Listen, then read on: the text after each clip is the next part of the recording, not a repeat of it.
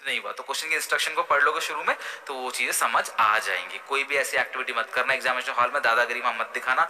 वहाँ पे class normal तरीके से सबसे रेस्पेक्टफुली बिहेवियर रखना, भले ही वो लोग ना करें। वो लोग तो करते नहीं है, ठीक है? मैं समझ रहा हूँ वहाँ पे बहुत बड़े लोग आते हैं, वहाँ पे ऐसी नॉर्मल जो होते हैं ना टेंडर निकलता है वहाँ टीचर ऐसे पहुँचते हैं कोई इतनी बड़ी बात नहीं है ठीक है? तो आप बस तसल्ली से पेपर दे के आ जाना भैया पेपर देना है तुम्हें वरिशदारी नहीं, नहीं, नहीं निभानी वहाँ। अच्छे से पेपर दे के आराम से आ जाना क्लास और ध्यान रखना क्लास जैसे आप पेपर दे के आओगे बाद में कुछ ज़्यादा परेशान मत होना आंसर्स के लिए। एंड ये खुद तीन चार दिन के अंदर जब फाइनल पेपर हो जाएँगे आई थिंक सात तारीख को तो बारह तारीख के अंदर अंदर मुझे लगता है क्लास एंटी आराम से क्लास आंसर रिलीज़ कर देगा। आपने क्या अटेम्प्ट किया सही आंसर क्या था आप उसको चैलेंज भी कर सकते हो अगर आपको लगता है मैंने सही किया एंटी ने गलत किया दो सौ फ़ीस है उसकी और क्लास आपको पूरे पूरे नंबर उसमें मिल जाएँगे, अगर वो सही हुआ तो। हालाँकि पैसे वापस नहीं मिलते।